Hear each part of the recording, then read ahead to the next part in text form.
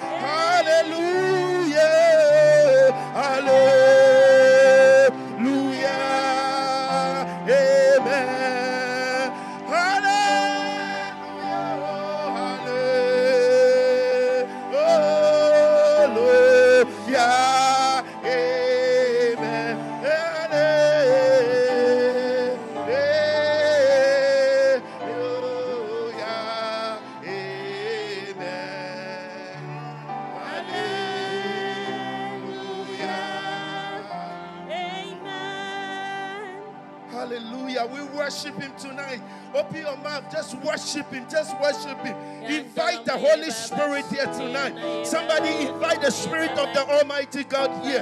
Holy, holy, holy, holy, holy, holy. Holy, holy, holy, holy, holy, holy. We call upon you, Holy Spirit, to descend tonight, oh God. Oh descend in our midst, oh God. Descend in our midst, oh God. We want to move with you tonight, oh God. We want you to hold our hands and move oh with us, oh God. Move with us, oh God. Move with us, oh God. Move with us, oh God. We invite you, Holy Spirit. Come and take control. Come and take control. For you are mighty. You are worthy to be praised. Tonight we bless your name. We bless your name. We magnify you, Lord. We magnify you, oh God. I want us to pray. The Bible says that Jesus asked Peter to cast the net. God has tasked us to fish. He said we should fish. We need to fish. We need to fish. We need to fish, meaning that we he has not tasked with a specific fish, but he said we need to fish. This is what the Holy Spirit is saying. He said we need to fish. We need to go out there. We need to hold hands. We need to bring people into his house. It doesn't matter what they are into, but he says, The rest, leave it to me, for I will fix it. Yours is to go out there and fish. Thank you, Holy Spirit. Thank you, Jesus. Thank you, Jesus. Tonight, let us pray. Let us open our mouth that God should empower us. He should enlighten us. He should open our spirit. He should open. He should give us the strength that we need. That everywhere we go, everywhere we find ourselves, that our net will be ready to cast. We will be ready to cast our net so as we can catch some fish. Open your mouth and pray, Father, in the mighty name of Jesus, oh God. Father, tonight I just want to thank you, oh God, for your revelation. I thank you for the direction direction, oh God. I thank you for direction, oh God. I thank you and I pray, oh God, that Father, Lord God, we as your children, oh God, we ask for your divine, divine, divine, divine, divine direction, oh God. Father, Lord God, I pray that wherever we go, oh God, Father, let your let your Holy Spirit guide us, oh God. Give us that strength, give us the ability, give us all that we need, oh God. That when we go out there, we'll be able to fish. When we go, you said we should leave the rest to you you, oh God. Our job is to bring them, and you said you will fix them. It is not in our position, oh God, to determine what you want us to do, but it is by your grace, it is your authority. So tonight, oh God, in the mighty name of Jesus, oh God, Father, bless your children, oh God, with that net, oh God. Bless your children, oh God, with that net, oh God, so that they will be able to fish, oh God, unto you. Father, you need us, oh God. You said you need us. You need us to go out there and bring the souls, oh God. Father, Lord God, we can never do it without you. So, Father, tonight, oh God, arise, oh God, and let our enemy be scattered in the mighty name of Jesus Christ of Nazareth. Hallelujah. Amen. Oh,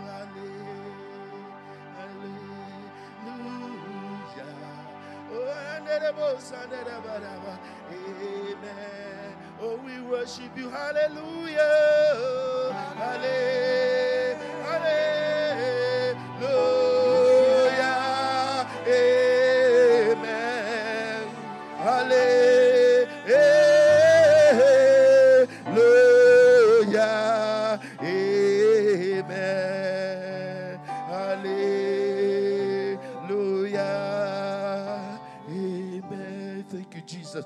Says, Whatever you ask for, whatever you ask, whatever you ask, it will not be denied. So the Holy Spirit is inviting us tonight that we should ask Him whatever we want him from Him. We should ask. He said, We should ask because it will never be denied. Open your mouth and ask God whatever you want. He said, You should ask Him and He will not deny you. Open your mouth, somebody. Open your mouth, for the Spirit of the Lord is speaking right now. Open your mouth and ask Him, Father, in the mighty name of Jesus. Jesus, oh God. Father, you gave unto us, oh God, power. You gave unto us strength, oh God. You gave unto us authority, oh God. Therefore, what we need right now, oh God, is that strength, oh God. That double portion of your strength, oh God. That will be able to do what you've tasked us, oh God. Father, help us, oh God. Tonight we are asking, and one accord, we are asking, as the body of Christ, we are asking, oh God, that Father, you bless this church, oh God. Bless us, fill this church, oh God. Fill this church, oh God. Fill it, oh God. Fill it, oh God, so that your name will be glorified. You have prophesied, you've shown to us, oh God, how it's going to be, oh God. We trust in your timing, but you said we should ask, and it shall be given unto us, oh God. We are asking tonight, oh God. Fill your church, oh God. Fill your church, oh God, in the mighty name of Jesus. I want us to pray and commit all those who are on their way coming here. All those who are watching, wherever they are watching from, I want us to pray to God, to ask God to guide them, even as they are coming, even as they are tuning in. God should guide them, God should direct them, God should let His Holy Spirit descend. That everything that we are going to do here tonight, they will also be blessed. I want us also to remember to commit the preacher man or preacher woman into the hands of the Lord. We pray, we commit the praise and worship team that God Himself will move through the, the words that He will give. That God will move. Open your mouth, somebody, and pray.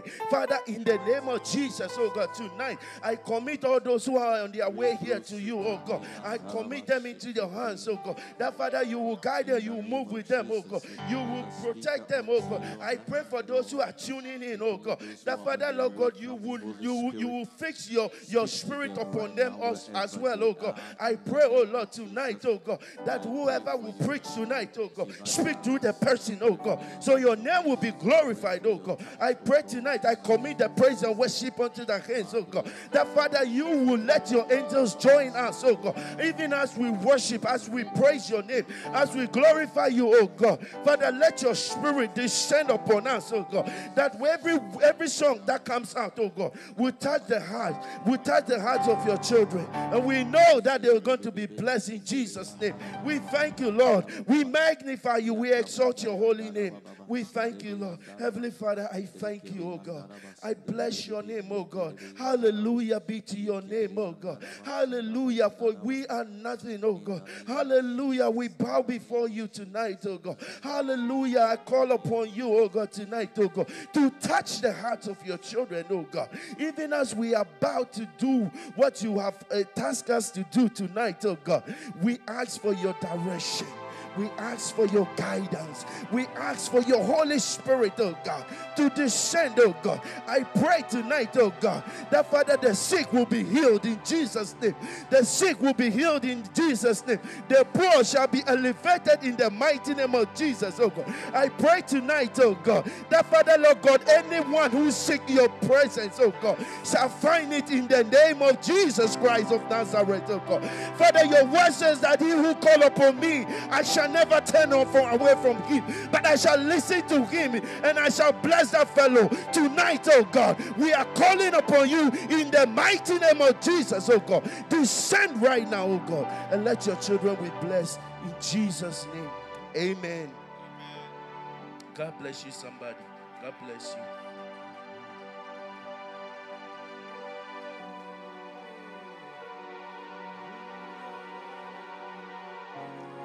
Hallelujah. We bless his name this evening. Hallelujah. We bless the name of the Lord this evening. We give him all the glory. He's here with us. Amen. Amen. Amen. We're here to give the Lord an excellent worship this evening. Yes, yes, we are. That's all we really need to be doing to give him an excellent worship.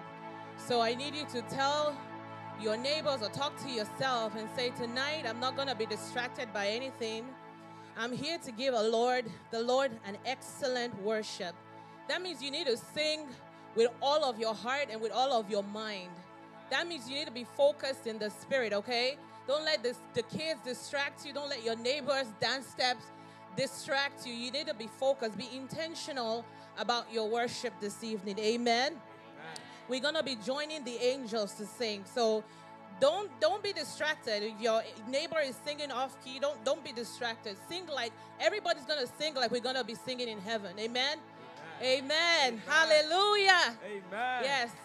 Holy holy holy. Holy holy holy. Holy is the lord god.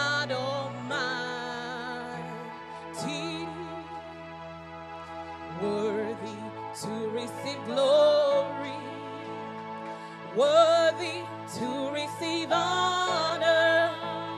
He's worthy to receive all our praise today. Isn't he worthy tonight? Say, Holy, holy, holy, holy. Come on, sing. I want to hear your voices. Holy, holy, holy. Don't be shy. He wants to hear it. Holy.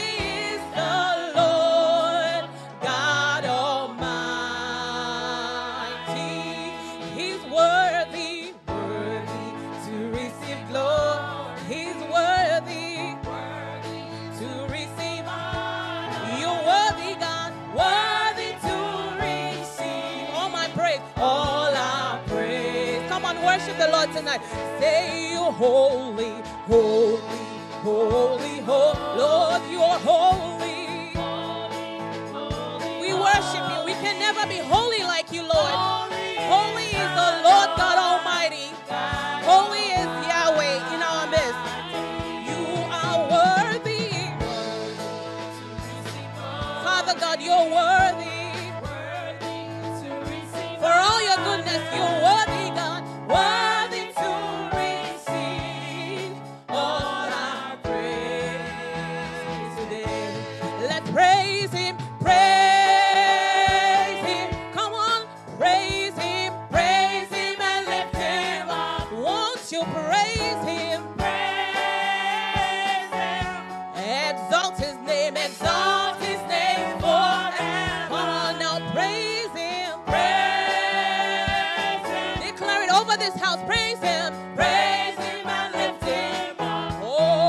praise.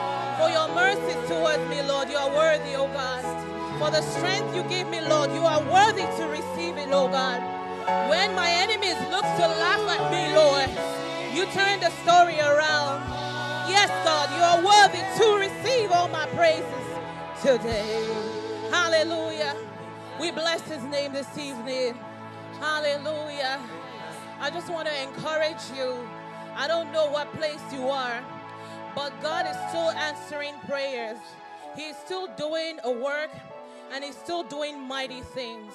Hallelujah. Amen. I was encouraged. I was encouraged as I was preparing by the story of Peter in the books of Acts, chapter 12. When the king wanted to show off how good he was to the Jews, and he really wanted to show off that, you know, he's really out for these Christians. And so he had killed some people, and he had then captured Peter, and he was about to put Peter to public trial, just like they did for Jesus. And he was like, I want to make sure this is a very public trial so that I can really disgrace the church. I don't know who is setting you up for disgrace tonight, who's holding you down. And so the Bible says that the king actually took Peter to prison and he made sure he set enough guards to put Peter down. He really did tie Peter up and he put some prison, uh, some some uh, some soldiers beside him, and so he was tied up between two soldiers, and there were camps of soldiers after the prison gate to make sure that Peter will not escape. The Bible says, but the church continued in prayers.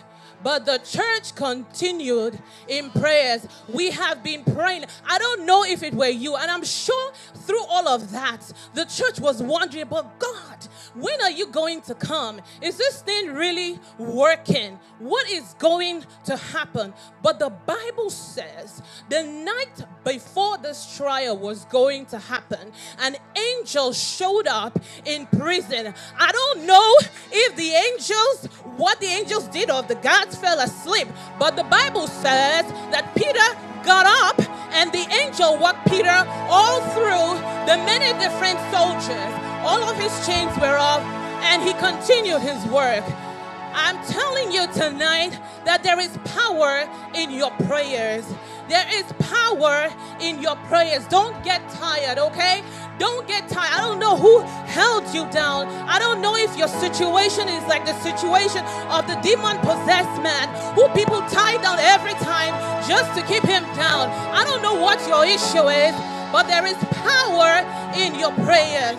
There is power in your prayers. Do not give up because at the last minute, the Lord can show up in such a way that the impossible becomes possible. Hallelujah. Hallelujah. There is power in the name of Jesus. There is power in the name of Jesus. There is power in the name of Jesus to break every chain, break every chain, break every chain, to break every chain, break every chain, break every chain. There is power, there is power. Come on, sing it like you know it. There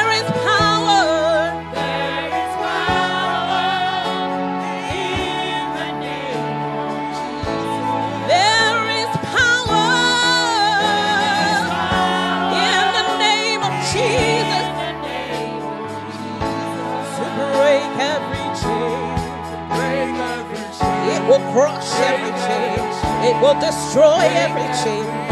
It will break every chain. Break every chain. It will break every chain. Break every chain. It will break every chain. Break every chain. Break every chain.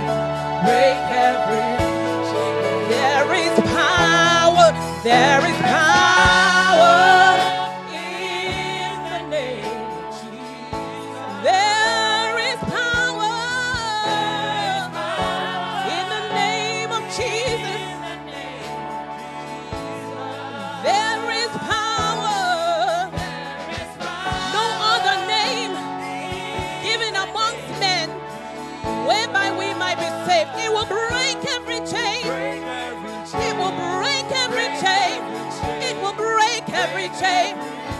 will loose you from every bondage.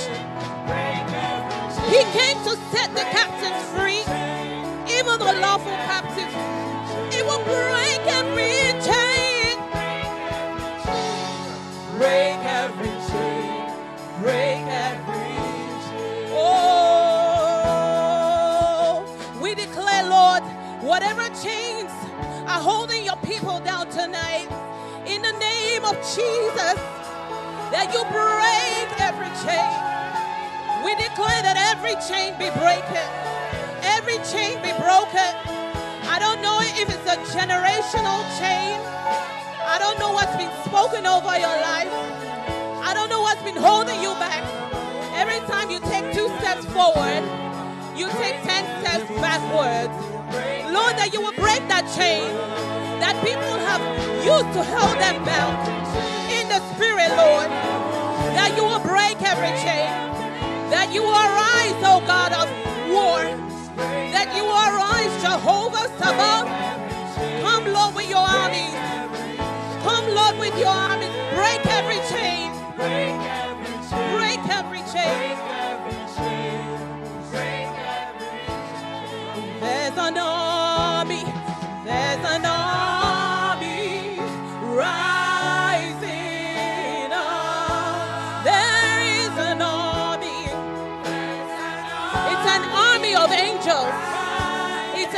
Army of God's powerful angels. There is an army. They're rising up. They heard your cry in the night. They're coming to break every chain. They're coming to break those chains in your life, to break every chain. They will break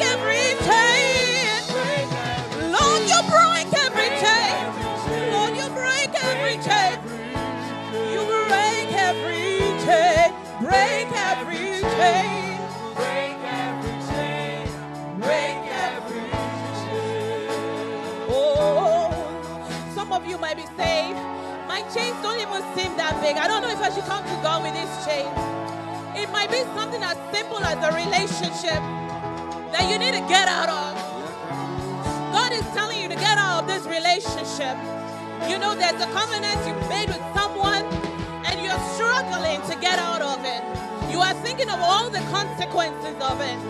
And God is saying, I can help you break that chain, that ungodly union. I can break it. Oh, you will break every chain. Yes, God. Everything holding your people back. You will break every chain. You will break every chain.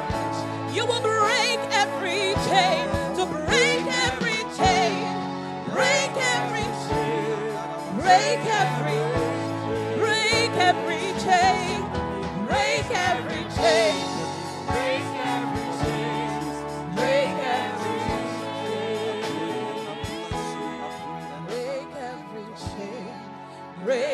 Every chain, break every chain. You are here, moving in our midst. I worship you. Thank you, Lord, because you are here. I worship you. You are here. You are working in this place. Oh Lord, I worship you. Yes, we worship you. I worship you. We know you're here because we called you. You are here. You are working in this place. I worship you. I worship you. I worship you.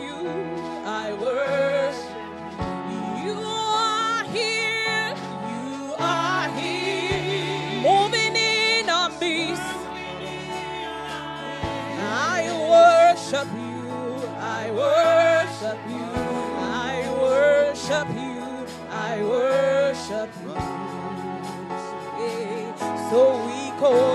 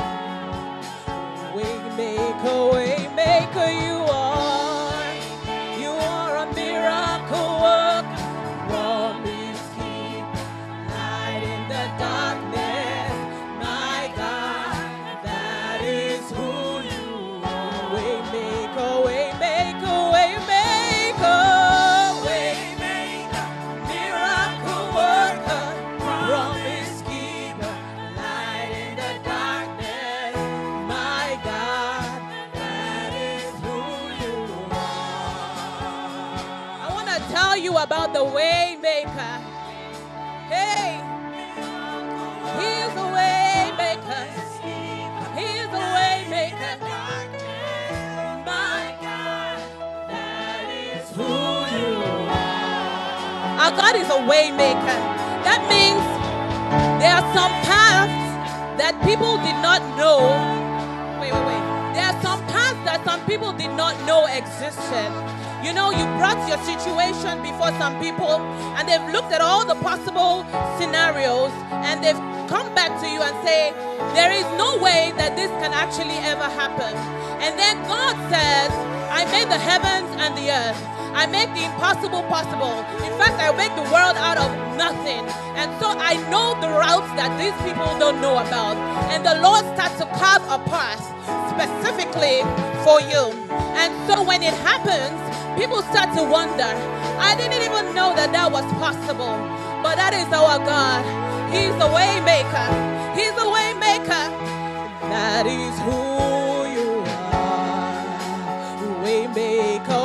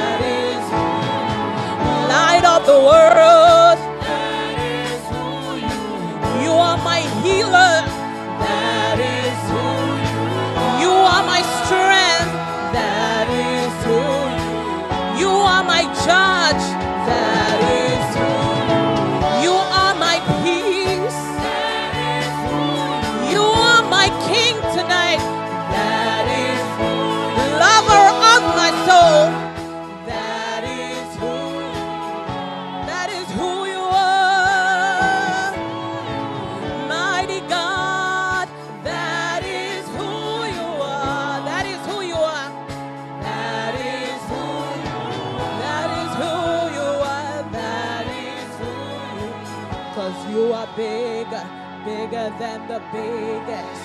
And you are stronger, stronger than the strongest. And you are higher, higher than the highest. You are greater, greater than the greatest. You are big, bigger than the biggest. And you are stronger,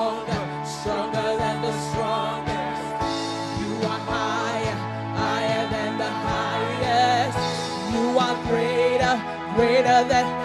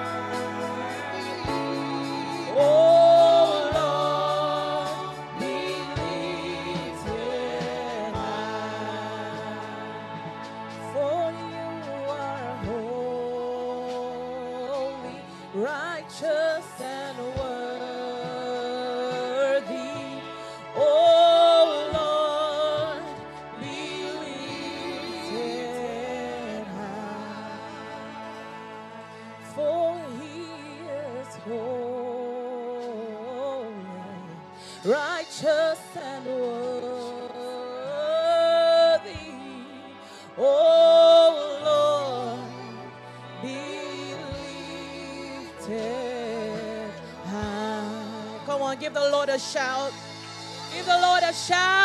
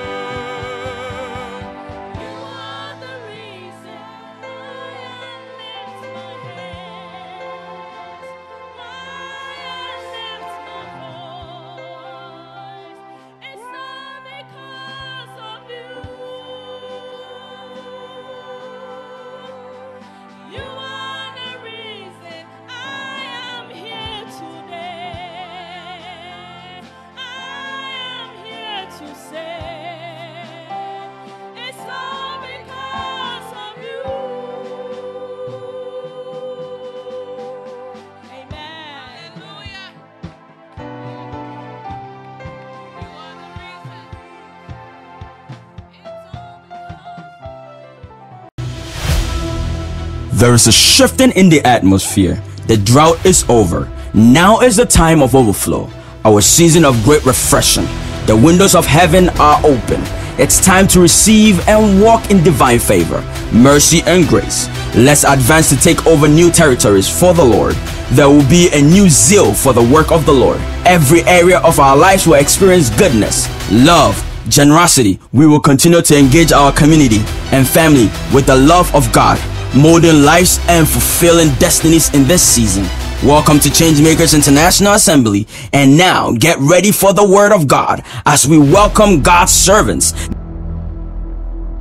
Please, with a shout offering and a standing ovation, let us welcome District Pastor, Pastor George Aboagye. Amen. Amen. God bless you.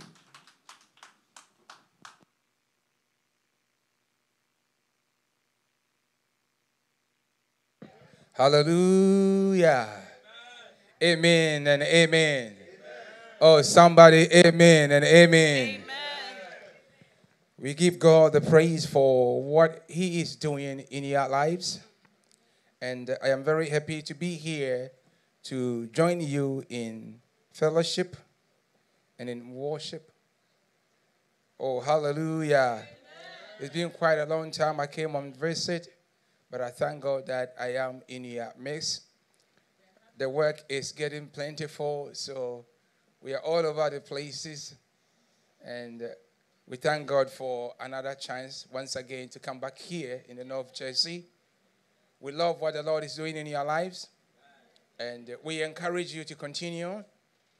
The good God who has started the good works in you will crown his name, and you will see the power hand of our God.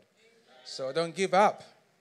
I have been in your shoes before, I have been at this level before, talking about 10, 14 years ago when I took over Everton. Only 10 old people came to my house when the then pastor left the church with the whole crowd. These old, yeah, old. Like you're talking about 50. And they came to my house and said, please, elder, lead us. I said, no, I'm going to New York. I can't lead you. Old. Praise the Lord. I mean, I can't.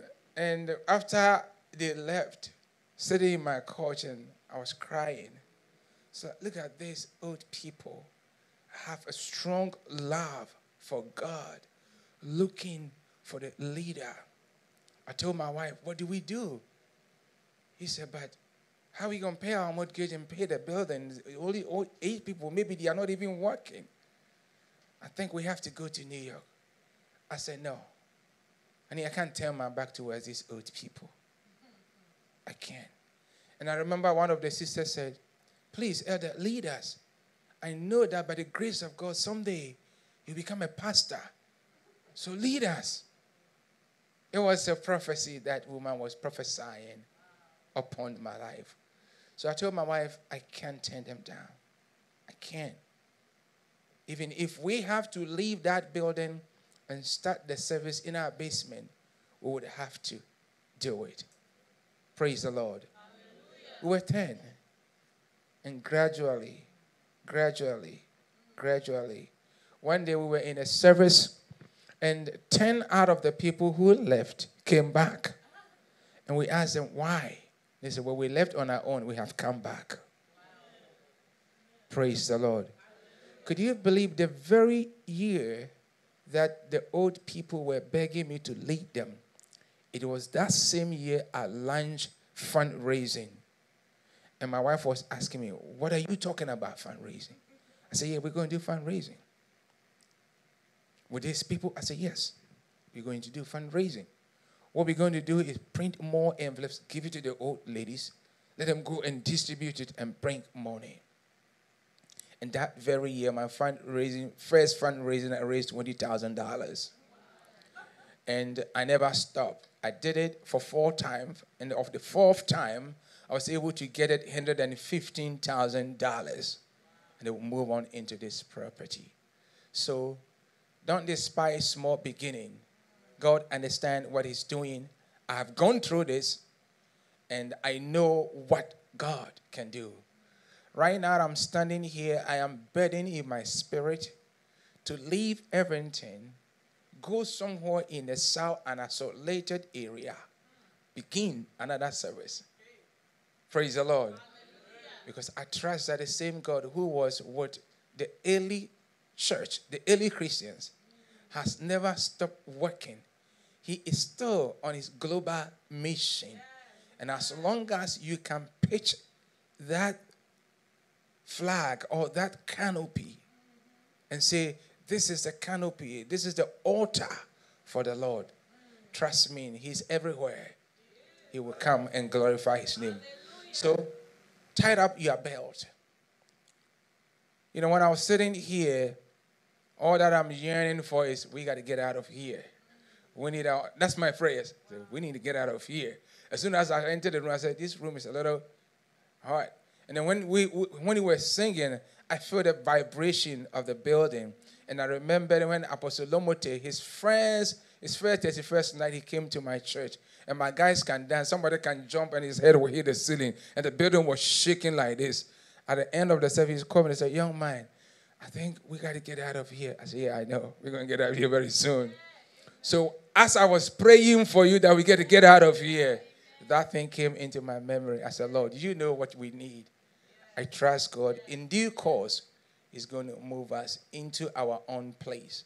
So be ready for that vision, for that dream to come into pass. Shall we pray? Father, Lord, we want to thank you for a gift of life. It is by your mercies that we are all living. Have brought us together as one family. We thank you, Lord. We commit our hearts and our minds into you, O God. Come and tonight speak to us. Come and teach us, O God. Teach our heart and our minds. As your word is coming forth to us, O God, prepare our heart so that your word will have a fertile grounds in our heart, go deep down in our heart. And even as we're going to ponder over it, it will bear fruit. We give you praise and glory. In Jesus' name I pray. Amen. Oh, somebody shout a big amen. I just want to discuss something with you from the Gospel of John, chapter number 13. John chapter 13. We kind of going to read from 1 to 20. The Gospel of John, chapter 13. We're reading from 1 to the 20th verse. Read along with me, please.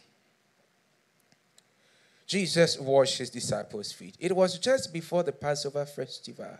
Jesus knew that the hour had come for him to leave his, this world and go to the Father. Having loved his own who were in the world, he loved them to the end. The evening meal was in progress, and the devil had already prompted Judas, the son of Simon Iscariot, to betray Jesus.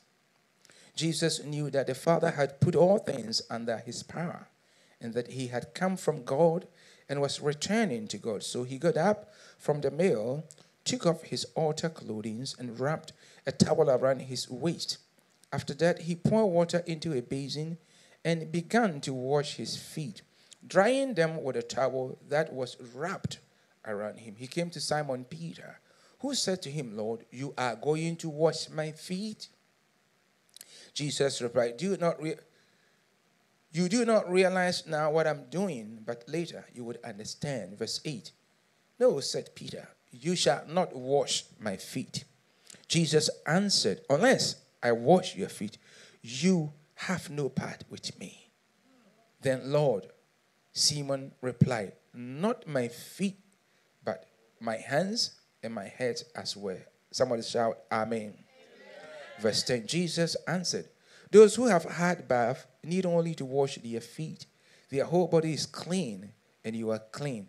Though not every one of you, for he knew who was going to betray him. And that was why he said, Not every one was clean. Verse 12. When he had finished washing their feet, he put on his clothes and returned to his place. Do you understand what I have done for you? He asked them. You call me teacher and Lord, and rightly so, for that is what I am. Now that I, your Lord and teacher, have washed your feet, you also should wash one another another's feet. Verse 15. I have set you an example that you should do as I have done for you. Very truly I tell you, no servant is greater than his master, nor is a messenger greater than who sent him. Now that you know these things, you will be blessed if you do them. Verse 18. I am not referring to all of you. I know those I have chosen, but this is to fulfill this passage of scripture. He who shared my bread has turned against me. I am telling you now before it happens, so that when it does, so that when it does happen, you would believe that I am who I am. The last verse. Very truly I tell you, whosoever accepts anyone I send, accept me. And whosoever accept me, accept the one who sent me. Shall we say amen? amen. And this is, uh, I just want us to kind of have a little teachings here. I like preaching, I seldom teach. Pastor is laughing. But let's let's break this into pieces. Uh, in a John, the Gospel of John, which is the fourth gospel, we call something farewell discourse. Jesus has realized that his time is running out. In the very moment they were going to arrest him and slay him, kill him, and hang him on the cross. So time was running out against Jesus. So in the farewell discourse, some call it final discourse, others call it upper room discourse. And in this discourse, Jesus had gathered his disciples in an upper room and they were about to eat Passover dinner. And those of you who are familiar with the Jewish, they have a Passover uh, festival that they celebrate every year to commemorate the salvation, the greater deliverance that God brought to them by his mighty hand when they were living in Egypt back in the days when they were enslaved, they were heavy burdened, and they were heavy taxed, they were shipped. All kinds of uh, atrocities were, were given to them and they cry out for God's deliverance. And the Bible says, By the mighty hand of God, God delivered them by slaying all the firstborns of Egyptians and saving the Israelites. And that motivated, that moved Pharaoh to let them out of that slavery.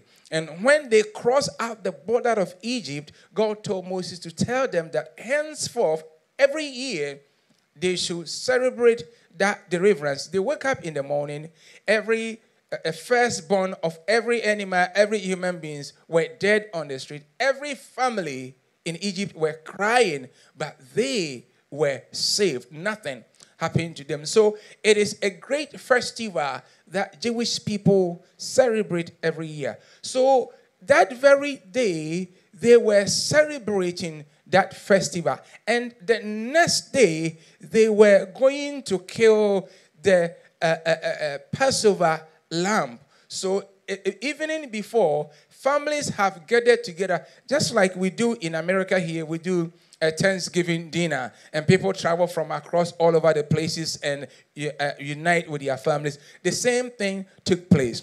So they are eating Passover dinner, and the next day in their history, in their memory, in their remembrance, the Passover lamb will be slain. So Jesus, being a Jewish man, knew this culture, knew this festival. So he himself had girded his disciples so that they can also eat the Passover dinner. Somebody say Amen. amen. So Passover dinner was preparing. Bear in mind that Jesus also is the Lamb of God, whom God had set aside from before the foundation of this earth to be slain for my sin and your sins.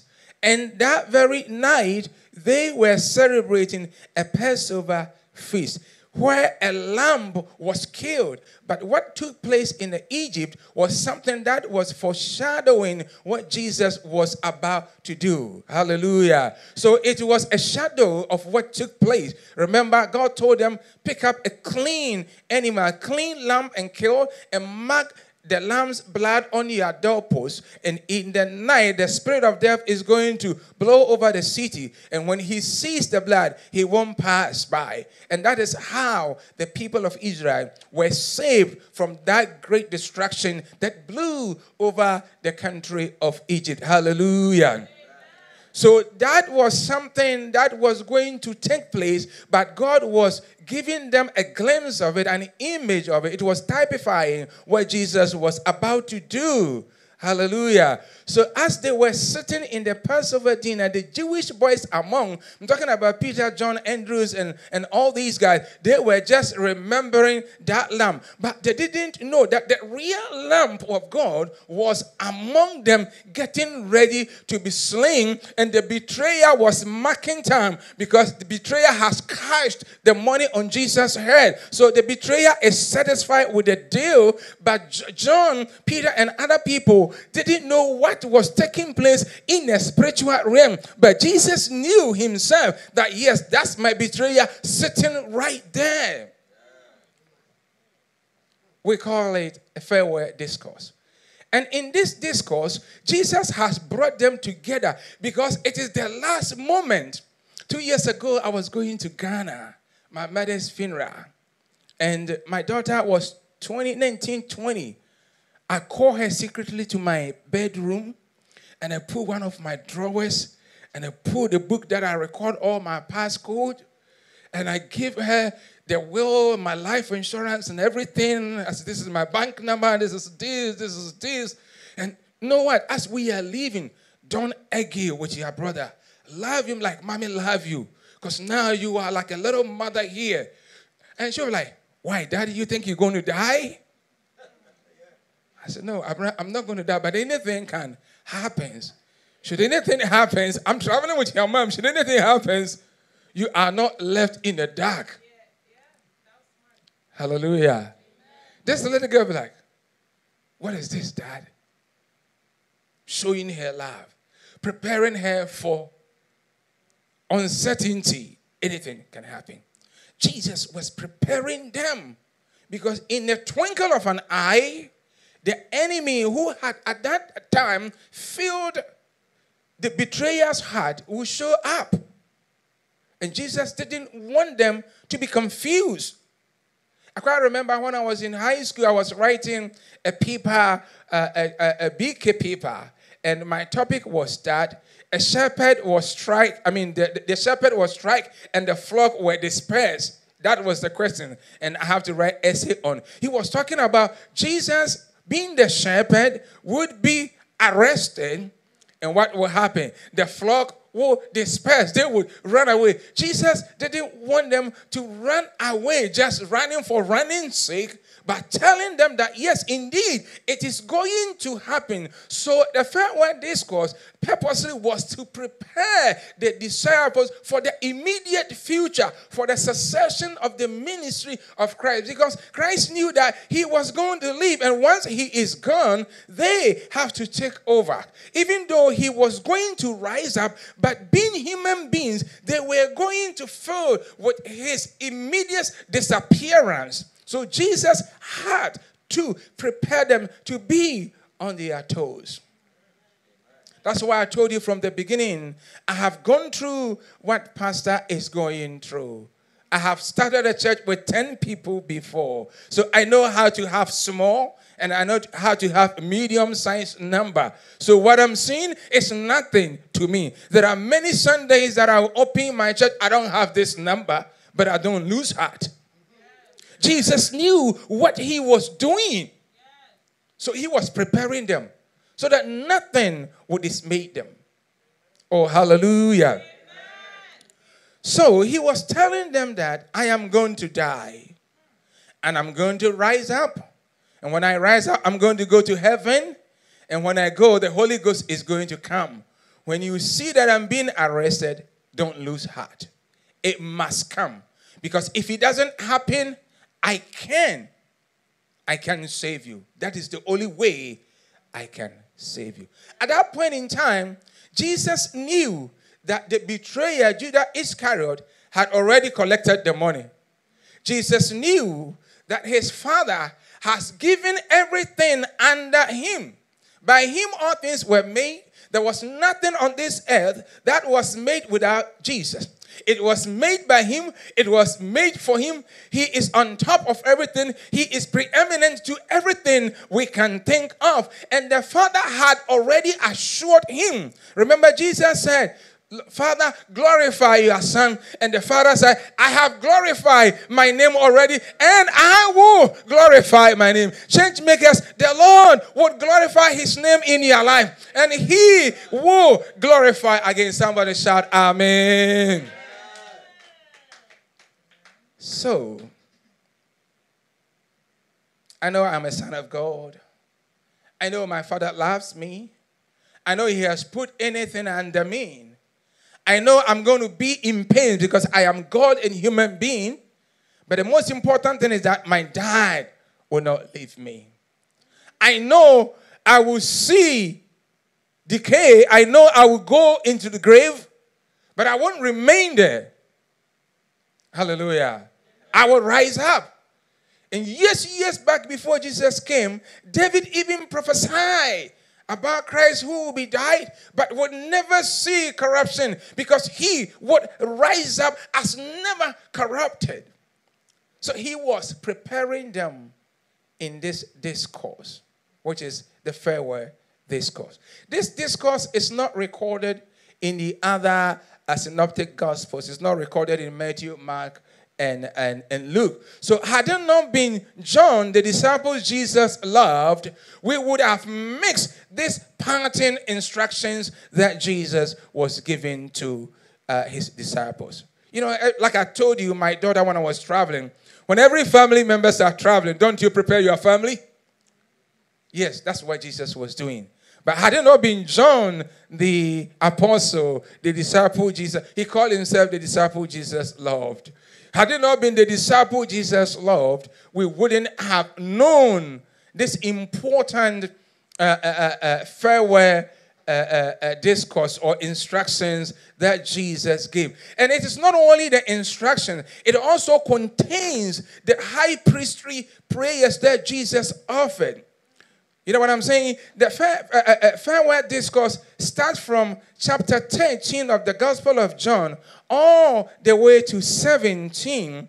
And 13 is the preamble, the prelude. That is where we're going to pick up the washing of the feet from. So the 13 is the preamble, and then the 17 is the postlude or post uh, uh, uh, discourse, which is the climax of the farewell discourse. And it is in the 17 that Jesus offered his high priest prayers for the church. And if you read chapter 17, Jesus said, I am praying for you so that you will be one with one another, so that the world, the unbelievers, will know that we are one and we are Christians. We are Christ people, change makers. We have to love one another and show that love to one another so that the people in Garfield will know that we are Jesus people. We are Jesus followers. So the farewell discourse start from 13 and climax at 17, but then the 13, which is the preamble, the prelude, that is where Jesus demonstrated a very important celebration, which is very important and worthy of emulation in our Christian faith. Bible says, when they were all sitting down reclining and then the Passover meal was in progress. They were all reclining, and the disciples that Jesus loved, John, was very close to Jesus. The meal was ready. I believe these people were so hungry. And that's one thing that I hate on Thanksgiving dinner. I can see the food, I can see the turkey, I can see everything. My wife won't let us get to the table. We were waiting for this person, we were waiting for that, and she's all over the place trying to polish said, My gosh, I'm hungry. I believe that is what was going on in their life. They've been long waiting for the meal, but they're waiting for somebody to come and wash their feet. Hello? In their tradition, there was a feet washing, which is a traditional thing that was going on. When you go back home, there are some places, if you go into somebody's living room, you have to take your shoes off, right? And I've been here for a while. I didn't, I, you know, I, I don't go home so often. So the last time that I went home, I was so confused. I didn't know what to do. Sometimes I go to people's room, then I realize that I don't, I can't come to their room. I go outside. I quite remember one time we went to their house and I took my shoes off, right, and I had my socks on. When we came and I forgot how to put my socks, my shoes back on. I was walking away. I was a confused man. Hallelujah. So in their culture, there was a feet washing. That when you go to everybody's home, your host has to give you water and a towel to wash your feet. So, sister, for my next time I come on a visit, I need a feet washing service. Hallelujah. So, and, and, and the Bible says most of these tax were given to slaves and servants, like rich people. You know, rich people, most people have servants in their homes. So when a visitor comes, they want the servant to go and wash the guest's feet dry before the guests would come to the living room. That was what was going on in their culture. When they came in, nobody washed their feet. I don't know where the servants in that house were, or maybe that house didn't have a servant. Nobody washed their feet. I don't know about this, but I'm thinking it would have been a taboo that if you come from outside and you don't wash your feet, you can't eat. So they were probably waiting for somebody to come and help them and wash their feet so that they can join their uh, Passover meal. Everybody say Passover meal. So, Bible says, as they were all alert, looking at the dining table, ready for the dinner, there comes the rabbi. There comes the teacher. There comes Jesus Christ, the Lord and the Savior, the miracle working man. Took off his cloak, and then, I don't know where he get the towel from, but he grabbed a towel around him, collected water in a basin. They were looking at him. What was he about to do? Was he about to wash his own feet or what? And then he called to Peter, Peter, come, because you are the next after me. Pete, come, let me wash your feet. So he went to Pastor Bediakon, wash his feet, and he moved to my mind back there. Then he go to the next person. When he get to Peter, Peter said, Lord, you can't wash my feet. You can't wash my feet. Why do you think Peter said that? Now talk to me, church. Come on, my CPA.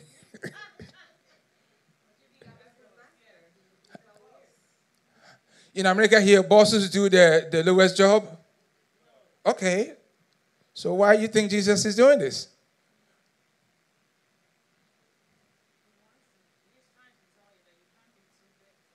Okay, thank you. Praise the Lord. What do you think Peter said? You can't wash my feet. You're too big for this work, right? Yes, indeed. Jesus was too big for this work. This work is for servants. This work is for slaves in a house that we have purchased them. You are the rabbi.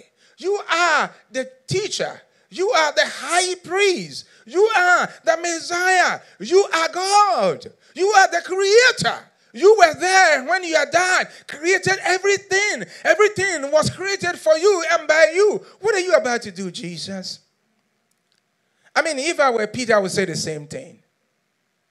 And Jesus said, Peter, if I don't wash your feet, you are not part of me. You are not part. Why you think Jesus said, if he doesn't wash his feet, he's not part of him? He has to wash everybody's feet. He has to wash my feet. He has to wash your feet. He has to wash everybody's feet.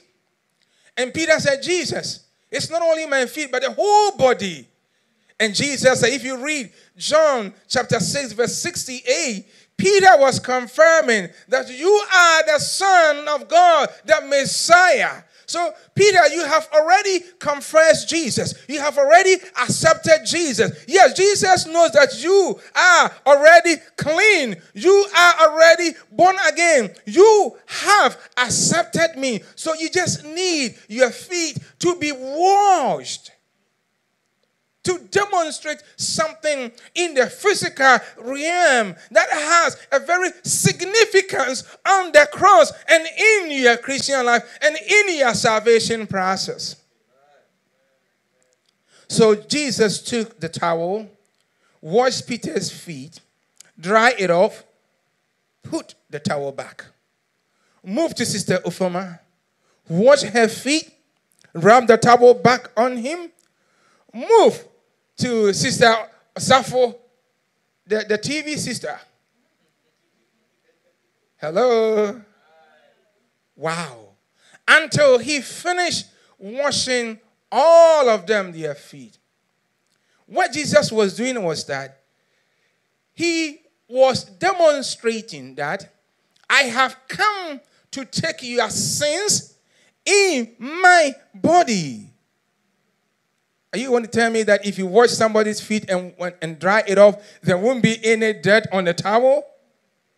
And he put it back on him in his own skin. The word of God says he carried our sins in his body onto the cross. And the Bible says that Jesus Christ became a curse so that through him we shall become the righteousness of God. The Bible says curse is the one who hung on the tree. Why he became a curse? He became a curse because he took my sin. Those women I cheated back in the days in Ghana took their money. Didn't marry them, but I promised them. But Jesus took that upon himself in his own body and take it to the cross so that those accounts that were a stigma in my body in my life would be removed and it would be placed on Jesus so that he would carry it on the cross. Somebody shout a big amen. Jesus did that. A job that was for a slave when you do rabbinical studies, it says it was rabbinically and it was religiously unacceptable. It was unacceptable religiously. It was unacceptable. It was not allowed. It was forbidden for a priest to do a menial job that is for slaves and servants. So it was not accepted that Jesus call himself a teacher, a rabbi, would do this work. But Jesus, being God, always breaking protocols. Jesus doesn't care. Once he is doing to serve the purpose of the Father, to serve the purpose of humanity, he doesn't care whatever traditional arrangements that you have in place. He is going to break that protocol for the sake of saving his people. You are not here by accident. You are not joining this church by accident. God has a specific plan for you. You are not here somebody by accident. By the time the church will blossom to its peak, you are going to see the glory of God. Somebody shout a big amen. Friday, Wednesday Bible studies, and one sister was talking about me on the line. He said, when we started this church, when we were few, Pastor had Ford, and Pastor wanted to teach every woman in the church how to drive. And Pastor took me one time, and Pastor said, No, sister, at this point, you got to get, get your own car because my Ford is dying out. And she said, Pastor, you should have taken a picture of that Ford. Praise the Lord. Those time we were going through the tough time. I'm going to drop this sister. After I taught her how to drive, I'm going to dra- drop her off to work in Kearny so that I can also go to my work in Livingston. When I get on one and nine, and then my car is like you are cooking. Steam is coming out like crazy. Praise the Lord. It's very hard. It came to the point that we were not using antifreeze anymore. We were using regular water like we do in Ghana. And I had a gallons of water in my car. So when the steam came out, people were driving and looking at me. I go and open a hood and pour my water. A gallon of water is going to take me a couple of miles. And I know by the time I get to Livingston, I would have used about three gallons of water. In spite of all, we had hope in Christ that a time will come, we will pack that car and we will change cars. Hallelujah. So if you are joining this church, this is our beginning. You have not seen how we're going to get big. You haven't seen it yet. You haven't seen it yet. Pastor Bediak, I wanted to pray this prayer. I was so confused at that time that those few people who were with me, the young ones, may leave. So I prayed to God. I said, God, open their eyes. Let them see what you're about to do. And God be- began to open their eyes. And it was so crazy for them. Every now and then they would go, Pastor, I had a dream. Oh, I saw the dream. You were preaching in the lager. I said, Praise God. God is seeing it. They became so attached. Because now it is not me telling them, they have seen it. I pray that God will open your eyes. I pray that God will give you a special dream so that you understand the vision of this church. Somebody shout a big amen. So, to ramp up, Jesus did this, wash all their feet, as we just read from chapter 13, and said, As I have washed your feet, you also go and do the same thing. Jesus was about to die, and disciples are taking over the church. So Jesus is telling them that this is how I want you to service one another. This is how I want you to treat one another. Those who have not become Christians, those who have not believed, when they come, this is how I want you to treat them. When new members come, let us open our doors, just like Pastor was talking about doors. Let us open our doors and receive them because that is the commission, that is the assignment Christ has given to us. Somebody shout a big amen. There was a need. They're waiting for the food. Somebody got to do it. Nobody was doing it. And Jesus had to do it. He emptied himself from who he was. He put his status down, and there was a need. So he jumped and do it as long as it was in the service of others, as long as it is helping others, as long as it is fulfilling the purpose of God in the lives of others. Let's do it, change makers. That is how Garfield City will get to know us. That is how the city will run to us. That is how we will have more people in the church.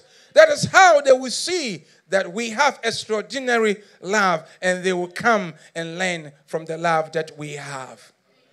What Jesus did, I think I'm preaching. I thought I was going to teach. I'm doing both. Thank you. Hallelujah. What Jesus did was an act of servanthood. He demonstrated servanthood. A master servant. Everybody say, master servant. You are a pastor, but at the same time, you are a servant. I like the servant part. I don't want people to be calling me too much pastor, pastor, so that my little head won't get big within my brains. So I like the servant part more. Honestly, he demonstrated his servanthood, his servant spirit. Let us do that. Let us serve one another, and gradually we will grow. It was an act of hospitality. It was an act of hospitality. Let us receive new people. Let us open our doors. Let us open our arms and receive them. When service is over, when Corona is over, let's give people hug. That alone is a ministry. Let's hug people. When you go to other churches, when the service is over, people are sitting on the platform like kings and Egyptian mummies. They won't get down. Get down, go down, hug people, shake people's hand, talk to people. encourage people, touch people's shoulders. Let us receive them. Let us show hospitality. Sometimes bring something from home. Sister, I brought this to you. And it will help. Oh, hallelujah. If you don't know the person's name, when the service is over, run to the person. Today I saw my wife run into the sister. I said, Where did you go? He said, Yeah, I saw this sister. I never met her. And she, she, she left too early, so I was chasing her. I said, Yeah, yeah, yeah. You got to chase them. You're doing good. Keep it up. Chase them. We need them. They are important. And as we are serving, servicing them, that is how we're going to get our reward in heaven. Oh, praise the Lord. It was an act of humility. Jesus humbled himself. Sometimes, Sister Ofoma, we have to put your C- CPA down and service. Let's put the degrees down. Sometimes the degrees are important. Hallelujah. Sometimes they are important. Sometimes we have to lift them. Sometimes we have to show them for people to know that, yes, we have also worked hard. But sometimes we have to leave them down and work.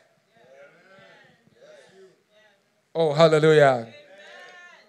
A guy who preached in my church said today, this morning, he took a low position, a low profile position for some reason known to him. And then when they interview me, like, you have more qualification than this. Why? So they refer him to another department and then another department. Then they ended up creating a position, new position, the first time they have created in that company, it's a pharmaceutical company. They created new position for him that is far better than where he is that he is getting away from. That's a waymaker right there. That's the God that we serve. So let us humble ourselves and serve one another. And as we are doing, God will glorify us. As I'm bringing my message to an end, when Apostle Paul was writing to the church in Philippi, in the Philippians 2, uh, uh, chapter, chapter 2, verse 5 through the 9th verse, he was telling them that in our relationship with one another, let us have the mindset of Christ, who was in the form of God, who, even who was God. Because if you read John 1 1, he says, In the beginning was the Word, the Word was with God, and the Word was God. So he was God. But he did not consider himself to be equally with the Father, but he emptied himself. Everybody say, empty. Empty, empty yourself. But he emptied himself and took upon himself a servanthood. And the Bible said, even unto the cross, he kept quiet, never uttered a word until he finished every work concerning my salvation.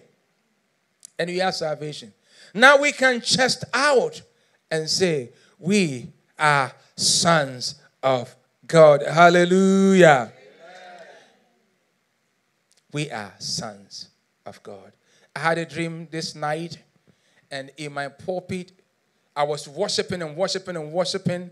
And as I was worshiping, there was some manifestation taking place. People were roaring over behind me in my pulpit, in my podium. People were rolling over. And I saw it and I said, okay, when I'm worshiping and people are rolling over, I'm going to be singing like I'm crazy. So all I'm doing is I'm looking at them, I'm singing, I'm praising, I'm worshiping, and they're rolling, they're rolling. When I wake up, I say, wow, this is what Jesus can do. When you give your life to Him, even in your spirit, you will be fighting. Back in the days, you dreams and people were chasing you. Now I dream, and when I'm worshiping, there is manifestations. Isn't that beautiful? Our God is good. Let the mind of Christ be in us, change makers. If we do that, our church would flourish. Garfield City would become members of change makers. It will be like a woman of the Samaria who entered Samaria city and brought the, the cloud to come see Jesus. Unto him who know you, who created you fearfully and carefully, who know you by your name and has sealed your salvation. May that lamp of God who was slain and covered on that Friday for you and I, may he cover you with his blood. May he empower you with his spirit May He begin to open your eyes and begin to let you have a wonderful dreams. May He open your intellect. May He open your spiritual eyes so that you can see His glory. May the Lord help you to serve others. May the spirit of servanthood fill you up so that everywhere you go, because of you, people will glorify Jesus. May the Lord bless you. Amen. And uh, on behalf of all CMI, we thank our district pastor for squeezing some time in his busy schedule to come and bless us this evening. We appreciate you and we bless God for your life. And indeed, we know that the Lord is doing something good, and the Lord is going to expand, and the Lord is going to bless us. Amen. He's already done it. We are very hopeful that there are greater things that He's going to do in our lives. Amen.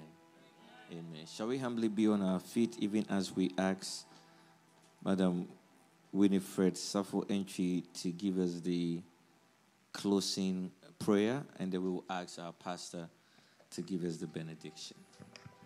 Amen. Father, we want to thank you for this evening. We bless your name for such a wonderful service. We commit our lives into your hands as you go, go throughout the week. We pray that the divine Lord may you protect us and guide us. Whatever is our heart desire, may you grant it unto us. We commit those that are not even here into your hands, that you will preserve them and you will bring them back next week so that we can have great and wonderful fellowship.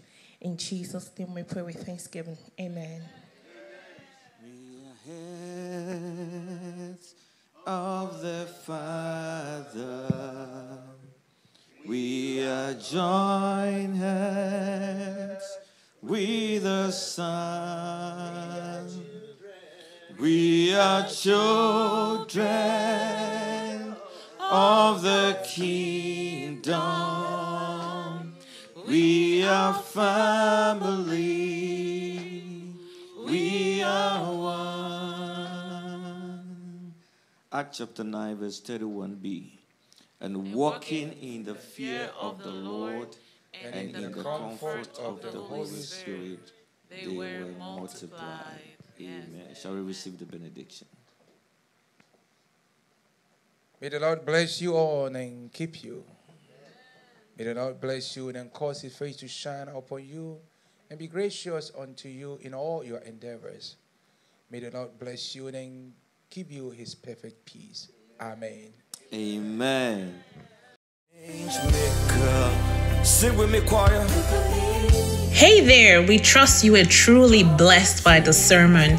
We would love to see you at one of our services soon. Check out our website at www.changemakersnj.org for all of our contact information, meeting times, and ways you can give to support the ministry. God bless you.